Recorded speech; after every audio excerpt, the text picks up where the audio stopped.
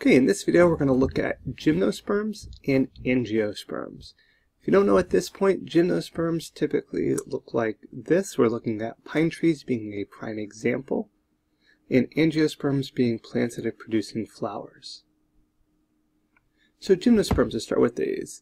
There's different um, phyla that consist of them. I'm going to focus mainly just on two main ones here. Conifers is probably what you're most familiar with. They're trees that produce their seeds in cones, and most have needle-like leaves. It's the example of conifers. Be another example of a conifer here. Now, uh, you might be familiar with saying are ginkgos, or at least familiar hearing about. Only one living species left, but what makes them distinctive is that they have these fan-shaped leaves. So both of these are gymnosperms. So I want you to think it's just only needle-like leaves. They can also have these kind of fan-shaped leaves.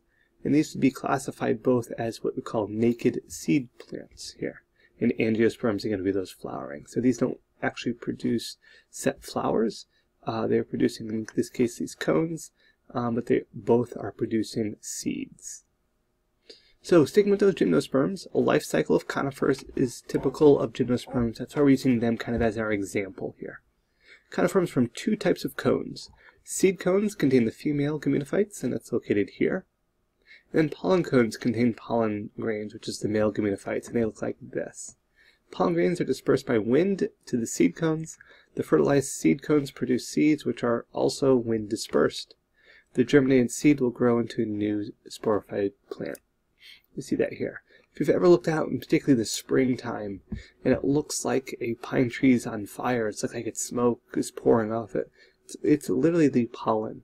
So the, what these um, gymnosperms do, in this case these conifers, they're producing a lot of pollen. They're dispersing it through the air in hopes that just by mass producing pollen, they're able, by odds, to get the male pollen grains to find the female ovule here. And again, they're just producing tons and tons and tons of pollen. It can almost look like smoke coming off a tree to find that female um, ovule. In contrast to that, angiosperms, they produce flowers. They invest a lot of energy in these flowers to attract pollinators. So a little different um, reproductive strategy here. 90% of all living plant species are angiosperms.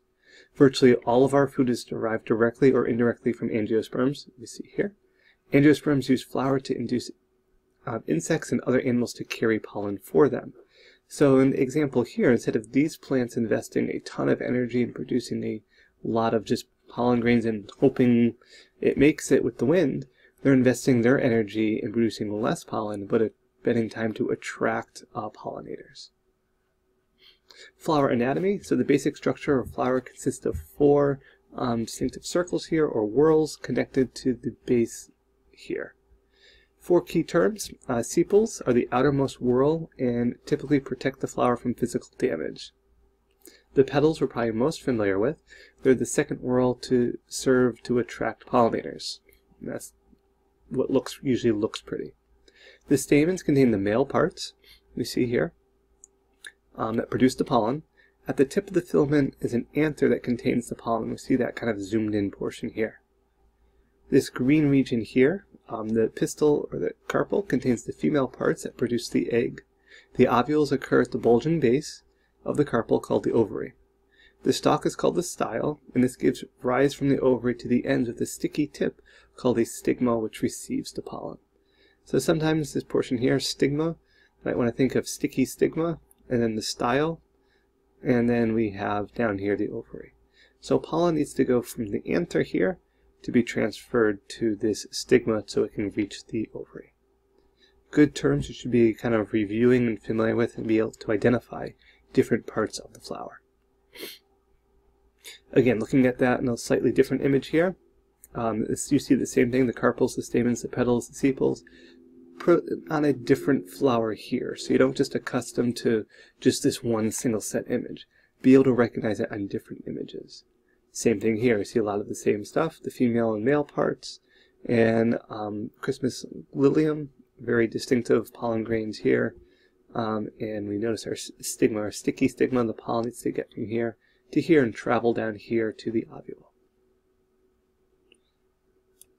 Again, zooming in on those parts here, kick myself over to this side, and we can see that there is a very set similar um, distinctive regions, but we want need to be able to distinguish the different male and female portions and realize that the stigma, the style, and the ovary, the ovule here, are all part of the female. The pollen grains, the microspores, the anthers, the filaments, all of those are portions of the male parts of the flower.